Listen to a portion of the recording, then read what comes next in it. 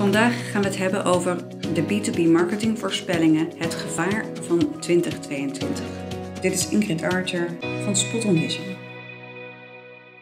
Onderzoek van de belangrijkste marketingleiders geeft ons inzicht in wat we moeten opnemen in onze plannen voor 2022.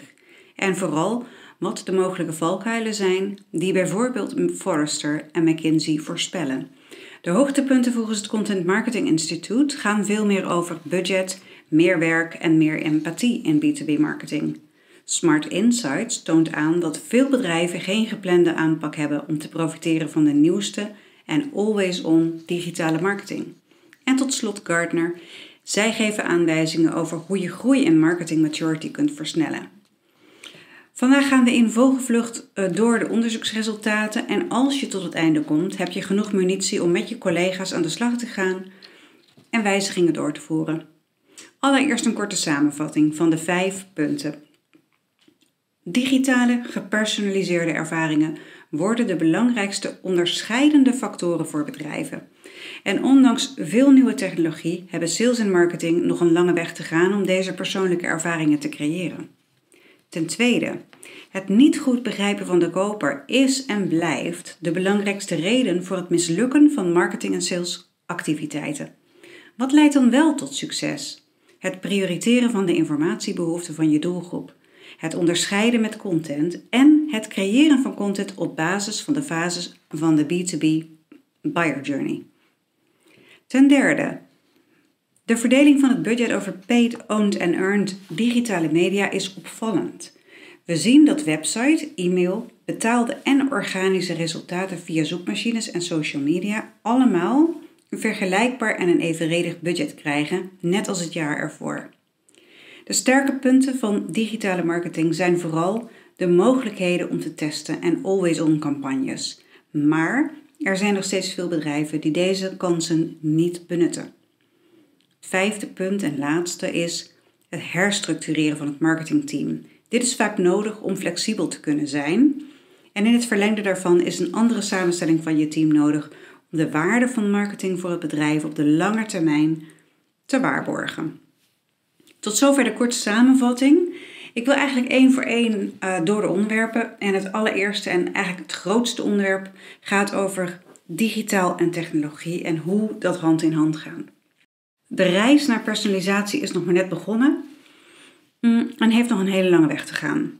In het meest recente CMI Annual Content Marketing Survey geeft de helft van de respondenten aan dat het de afgelopen 12 maanden steeds moeilijker was om de aandacht van de doelgroep vast te houden.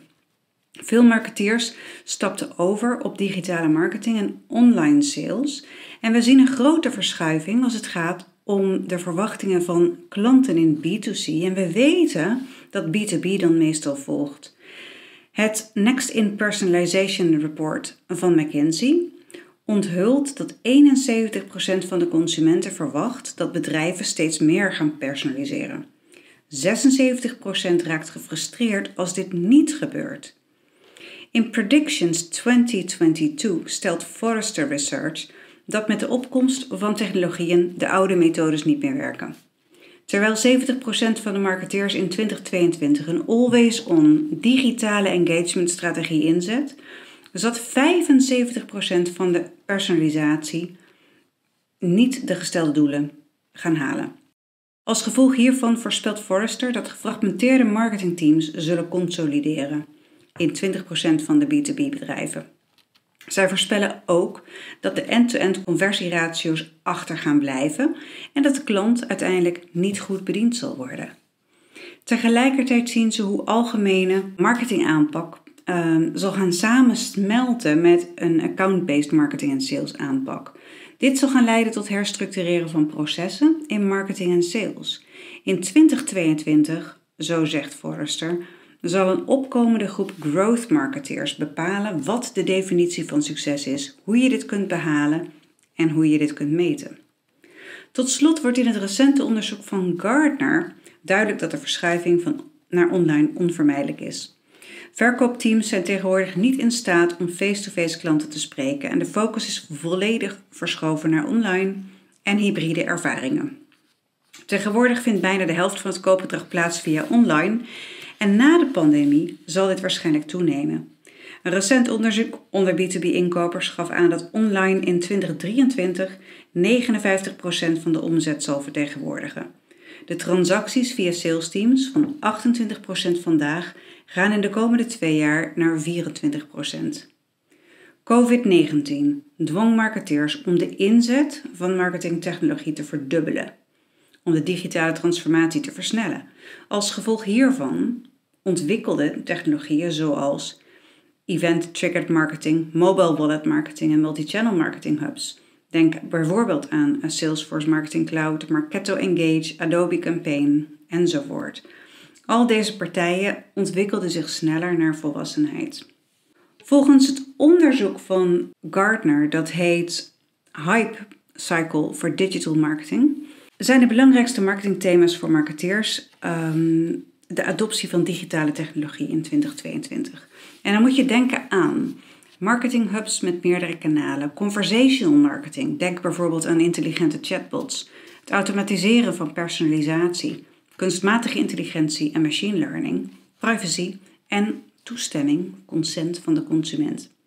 Tot slot, terwijl marketing en verkooptechnologieën in opkomst zijn, ziet Forrester Research de uitdaging dat B2B-marketeers complexere tech-stacks gaan inzetten die autonome of geautomatiseerde oplossingen gebruiken als onderdeel van hun digitale strategie.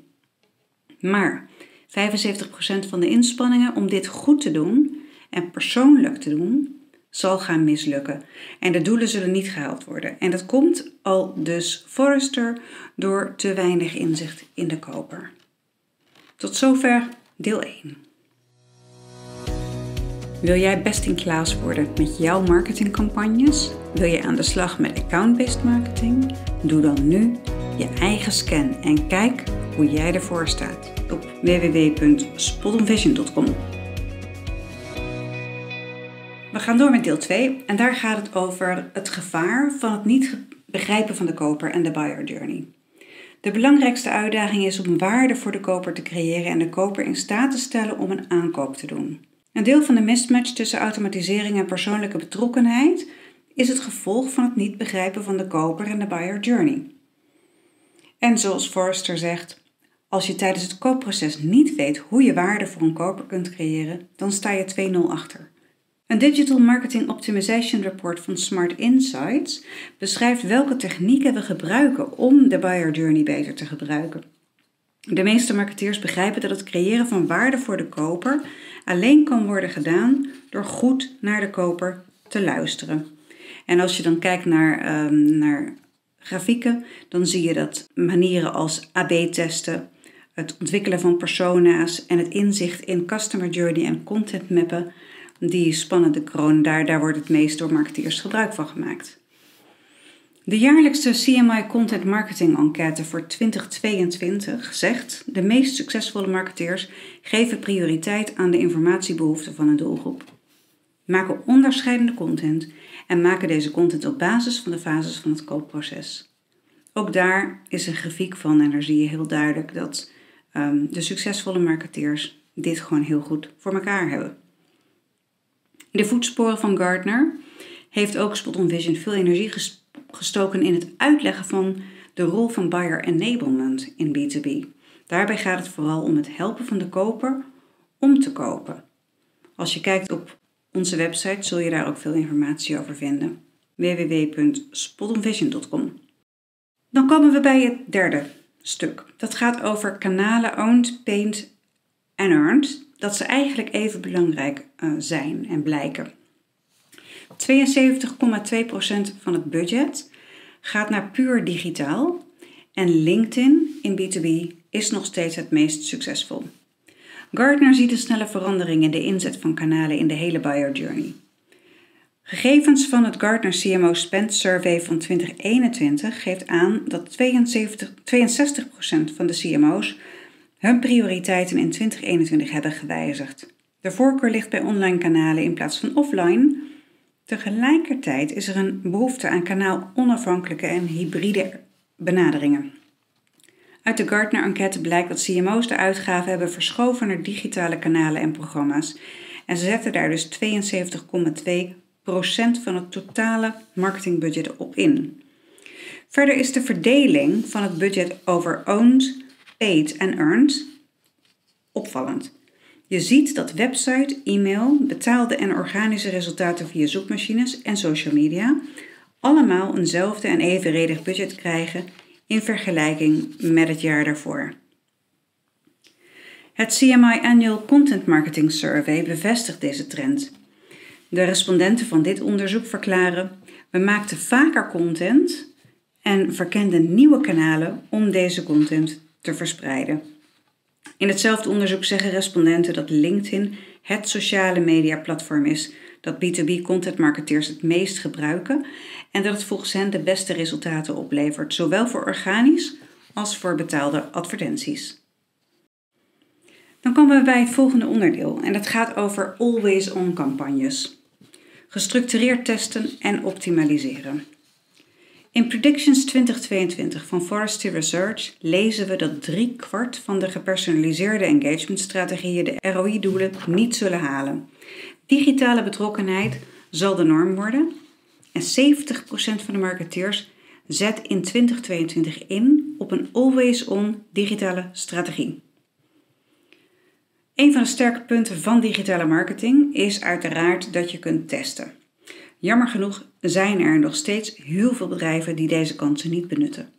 In het Digital Marketing Optimization Report van Smart Insights zien we dat ongeveer een derde van de bedrijven geen of beperkte test uitvoert, terwijl slechts een vijfde een structureel testprogramma heeft. Volgens Forrester wordt meer dan 94% van de B2B koopbeslissingen genomen door een groep van drie of meer individuen. Hierdoor hebben marketeers meer en meer en beter toegang tot kopers. Marketeers moeten koopsignalen in real-time gaan signaleren, daarop reageren en deze informatie gebruiken om te targeten. Zo ontstaat er een verschuiving van real-time naar real-time buyer enablement. Dan komen we mm, na dit stuk over Always On komen we bij um, het laatste stuk. En dat gaat eigenlijk over het B2B marketing team anno 2022. Als we kijken naar onderzoek, zien we dat er nog een lange weg te gaan is als het gaat om resultaten van digitale transformatie in B2B marketing en sales. Wat betekent dit voor de marketingteams van de toekomst? In het Gartner Spend onderzoek is het advies voor de CMO drie dingen. Marketing inrichten op flexibiliteit. Ten tweede, marketing volledig op digitaal inrichten. Ten derde, marketing aantoonbaar resultaat laten leveren. Het lijkt er dus op dat we om vele redenen flexibele manieren van werken moeten overnemen. McKinsey zegt daarover: bedrijven die erin slagen om personalisatie op te schalen, creëren teams met een kruisbestuiving van marketing, product, analyse en technologie. Samen voeren deze teams honderden experimenten per jaar uit met geavanceerde data-analyse en test- en leertechnieken. Tot zover het laatste onderdeel en dat ging dan over het uh, marketingteam anno 2022. Ik wil afsluiten met de vijf takeaways van Spot on Vision. Ehm, als je hier naar luistert en als je al die rapporten hebt gelezen, kom je eigenlijk toch wel tot een, tot een aantal belangrijke conclusies.